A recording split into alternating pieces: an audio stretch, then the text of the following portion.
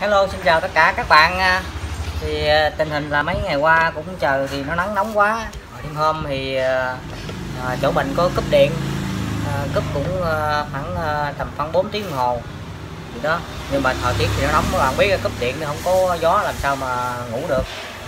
Thì à, mình cũng có ý định là sáng nay là mình à, chế cái quạt à, hơi nước à, mini à, để à, tích điện để mình à, luôn. Lại đó để khi nào mà điện mình có thể đem ra sử dụng ra xài ha, cho có mấy đứa bé nhỏ nhà mình nữa cho nó mát để nó ngủ được nha mọi người.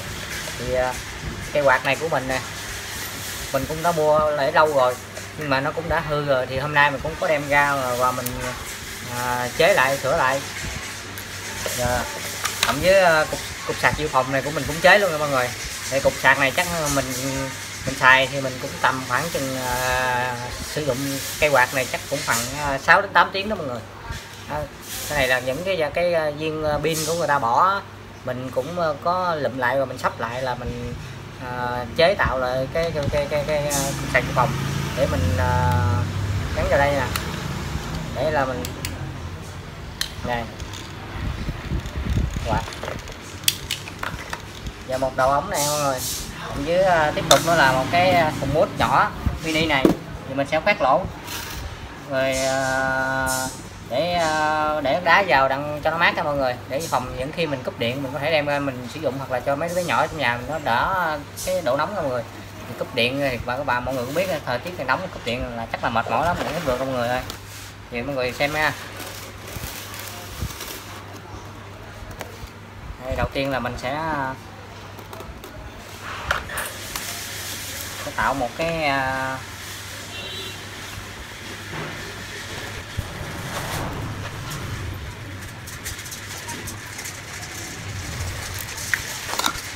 đây, mình sẽ cắt một hình tròn nha mọi người. Đây, mình sẽ à, phanh khoanh một cái hình tròn như thế này, rồi mình phát lỗ đó. Rồi mình để quạt cho đây nha. Mình à, phát lỗ đó.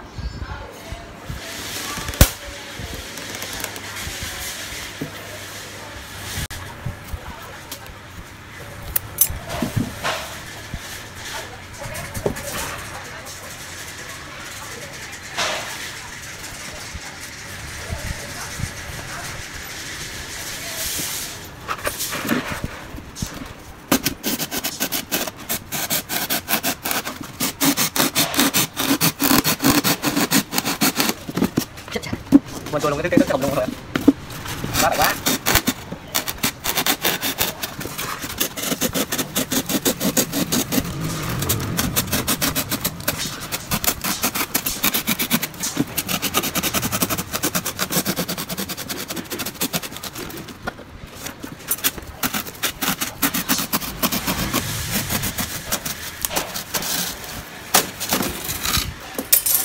rồi, vậy là mình đã đã cắt xong cái cái cái, cái lỗ ha mọi người. Để mình núp cái quạt nè. Vô cho nó vừa đây.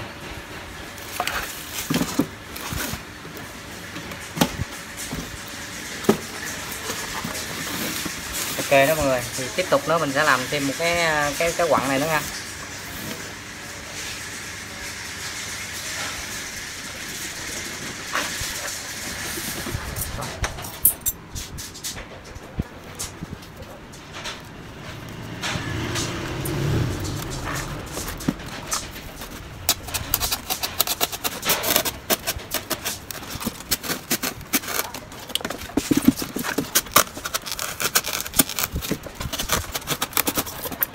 cái thùng này không cắt được bỏ nữa mình để gắn vào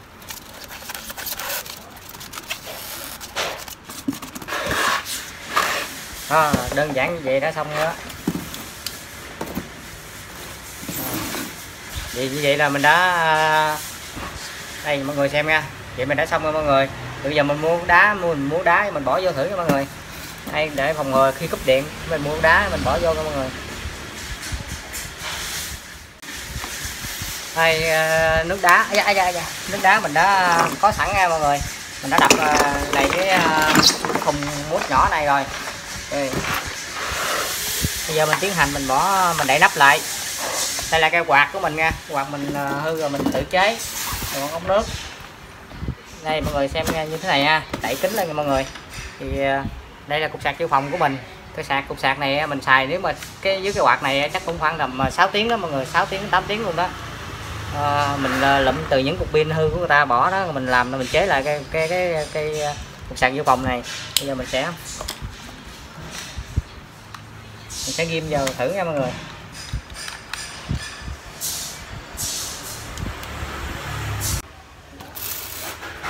Rồi đây mình đã à, bỏ bỏ nước đá vào rồi và cái quạt mình đã gắn lên đây.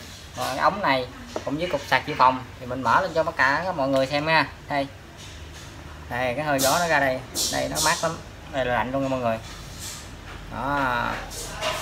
Mọi người có thể chế về để à, khi phòng, khi mà khi mà mình ờ, cúp điện á, mình có thể ờ, đem này ra để mình là ờ, quạt cho mấy bé nhỏ nó ngủ được nè, mát. Cái hơi lạnh nó ra nha mọi người. Đây, mọi người nhìn thấy không? Này.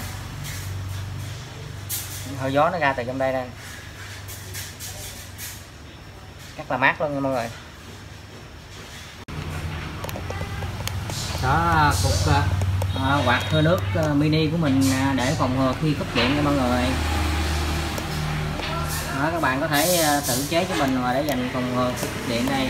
Đây là cục sạc dự phòng. Mình cũng tự chế và cái quạt mình cũng chế luôn. Cũng như cùng mút nhỏ mini. Có ống à, vật dụng thì chỉ đơn giản nha mọi người.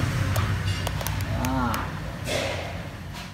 subscribe vào youtube này nhớ subscribe kênh nhá bạn nhớ subscribe kênh nhá. Ok nhớ subscribe